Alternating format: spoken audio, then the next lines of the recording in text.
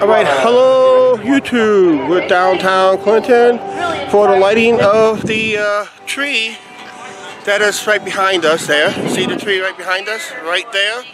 Over my old shoulder, this shoulder, yeah. Yep, they'll be ready to light that thing up. It's not a big crowd this year because it's been, as you see, uh, the streets are kind of wet and uh, uh, wet in that. So uh, it's been raining most of the day and we're between uh, rain showers right now. So as we get ready for the lighting of the of the tree,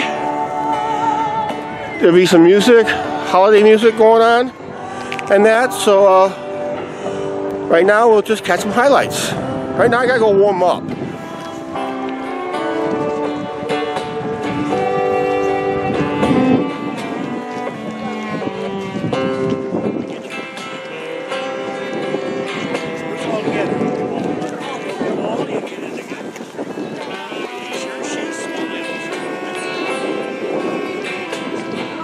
Look at that, boys and girls. Santa has arrived. Absolutely. Oh, really? Is that what happened? Yeah. Oh, Mr. Minnie.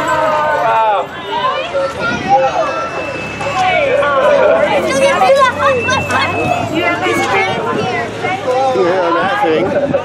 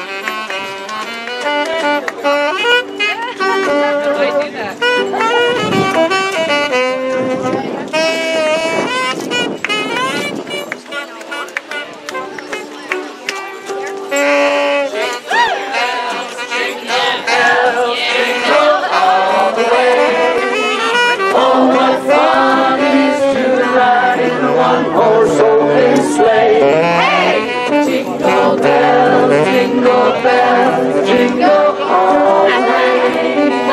Oh, what fun it is to ride in a one-horse open sleigh. Thank you, Brooke. Thank you, Mr. and Mrs. Claus, for coming out. Well, we're almost to the moment you've all been waiting for. I know Santa's here, but the big tree's got to light up yet. Before I go over and throw the official switch to start the holiday season, there's a couple... Jim Clark, who's president, is checking his cell phone. Do you have the Wisconsin-Minnesota score? That's not good for Minnesota. Oh. My wife is taking my picture right now. She's part of the board of the DCA. I also want to thank the rest of the board of the DCA for putting on the actual event for tonight. A couple things that are still happening. The Riverfront Event Center, which is the old Banner building, is still open until 7. There's quite a few craft vendors in there. Deja Vu right behind you is open. Uh, the Historical Museum has their Festival of Trees going on. Tomorrow at the Riverview Event Center from 10 to 7, they will have the Discovery there, Center there with face painting and games, and Santa Claus will be making an appearance between 1 and 3. So just give you a little highlight of what's happening. So thank you very much for coming out tonight. I got to make my way down to the tree.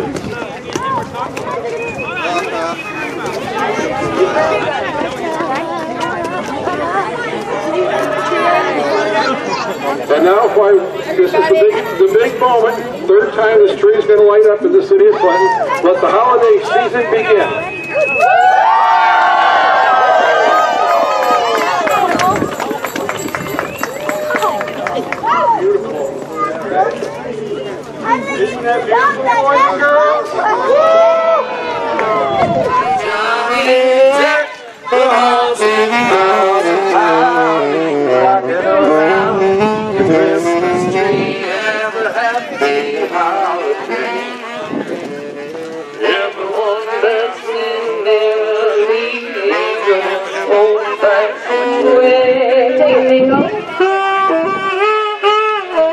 In a good old fashioned way.